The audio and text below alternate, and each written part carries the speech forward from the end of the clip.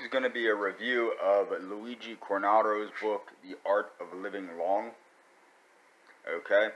Now, I found out about this book through reading um, one of Dr. Um, uh, what's his name? Uh, Dr. Walford's book. Roy Walford, the creator of the Cron diet, calorie restriction with optimal nutrition, who was also the uh, the mentor of uh, what's his face, Valter Longo, the guy that created the longevity diet recently, and the fasting mimicking diet, the vegan, basically mostly vegan fasting uh, mimicking diet. Now, this book is interesting. What Cornaro does is he shows how living a temperate life. Now, it, it wouldn't mean anything except for the fact that he lived probably to around 100, 102. The exact date of his birth and death are not exactly uh, settled, but he lived to around 100 or 102. And what makes this so interesting is that he did this by following a volume restricted diet. Uh, now, what he does go into is he goes into um, going through the different foods, somewhat of an elimination, like um, an elimination diet almost. He starts. Uh, now, remember, this book was written in the 1450s, I believe. So they didn't have the technology we have now, but they did get the results we get now, uh, if not better. So what he did is he took out some foods from his diet that were aggravating to him.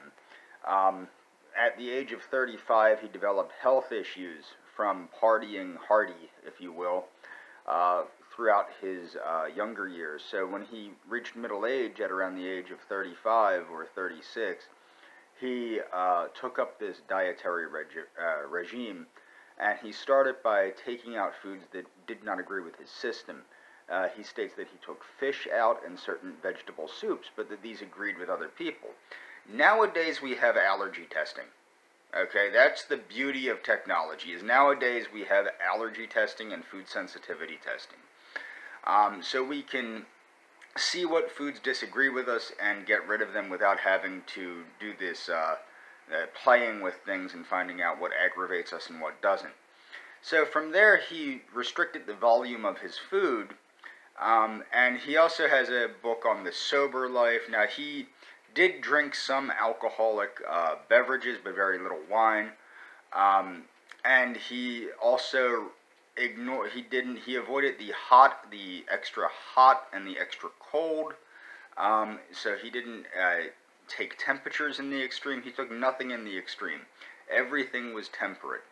Now to a degree the book doesn't go into exercise or things of that nature but to a degree I disagree with that. I think we do need to exercise vigorously uh, at least every other day if not every day um, but again, this is before we knew what we know now, okay? So now that we know certain things from science, we can perfect this, which is essentially what the Cron diet and I think the CERT diet, the CERT, the CERT food diet, um, are basically an improvement on this initial uh, thing that was done in the 1450s by Luigi Cornaro. Um, but this dude got the results. He lived to potentially over 100, and with no uh, special technology or things of that nature, but now we do have technology. We can supplement. We can make sure we're not getting nutrient deficiencies while maintaining caloric restriction. Now, remember, in uh, Cornaro's day, they did not have, um, they didn't know about calories. They, they just knew about volume. So that's why he controlled volume and not calories. But when you control volume, more or less, if you're eating healthful whole foods, you're also controlling calories. So that's what that's about. I highly recommend the book to people that are interested in um, in the subject matters, uh, living long and things of that nature. Now, what I would also like to point out is that uh, I'm, I'm going to start reading and reviewing books on physical culture. Uh, I don't think enough people review these books or read these books.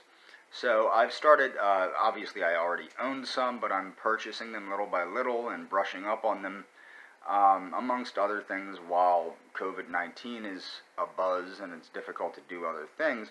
So I'm learning about different physical culturalists, and I'll be I'll be reading the books and reviewing the books Uh, the next one is going to be uh, Bernarr Macfadden that I do. That's a physical cultural uh, culturalist, uh, in his book Vitality Supreme.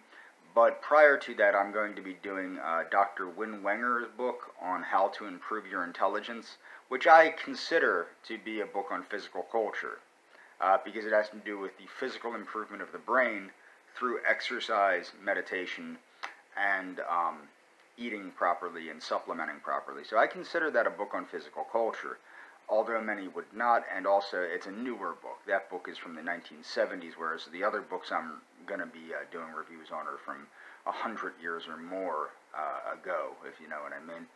So that's all for this book. I'm going to leave links into the description, or in the description, to an archive of the book and other things about uh, Luigi Cornaro that people should feel free to look into. Uh, it would probably be potentially helpful. And of course, you don't have to purchase the book if you can read the archive. So that should be helpful. Okay, that's all for this video.